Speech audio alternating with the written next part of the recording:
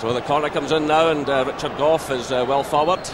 Breaks away again to Trevor Steven, who's making an impact in these early stages. And uh, Jury was almost on the edge of that one. Here's Laudrup. Good challenge going in from Elliott. It's Laudrup again, taking the ball from Cleland. Good understanding between these two. Laudrup again showing great close control. Gough